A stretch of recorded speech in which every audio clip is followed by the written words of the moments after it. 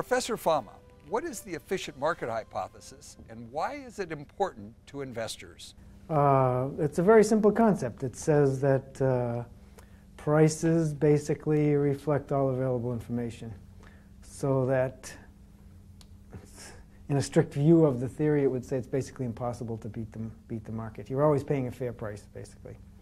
That's, that's the simple concept. Is the, mm-hmm. the price is always price is always fair. That, that's an important concept for investors because it says they're always paying fair prices. So their task is simplified. They basically have just have to decide what kind of uh, risk return trade off they want to be involved in, how much risk they want to take in, in, order to get more or less expected return.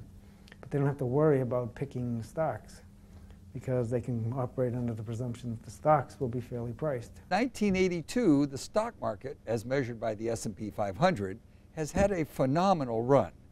Do you believe there will be a reversion to the mean? I don't know what you mean by reversion to the mean. I'm sure there will be a big negative return. Quite sure. Question is, when will it happen? Will it happen after the market triples again? Will it happen tomorrow? My expected value always is the historical return.